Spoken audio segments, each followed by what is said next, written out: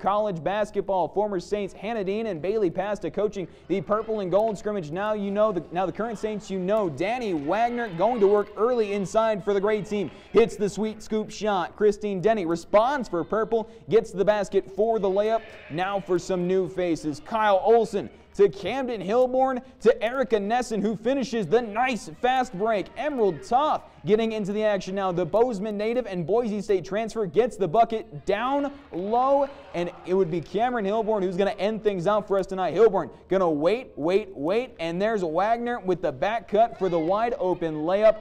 They start their series, they start their season this Sunday against University of Calgary. Now we head on the men's side of things. Carroll coach Kurt Paulson bringing his young team into the purple and gold scrimmage. Brendan Temple in the post. Nice look for Jovan Slivankinen who drives baseline and gets the bucket or gets the dunk to start the scrimmage. Other end now, Ifeanyi Okeke hits Gavin Ramirez on the drive for the layup. Then the preseason conference player of the year, Dane Warp, starts a three-point barrage as we've seen all, all of last season. Now Etsu Villa, Johnny Hillman, and Warp again. Then Malachi Afwork, who had a strong night. All Barry shots from deep, and Sayer Patton with the defense against Dennis Flowers the third. A nice block here for the freshman from Choteau. They start their season in Oregon against Oregon State. Now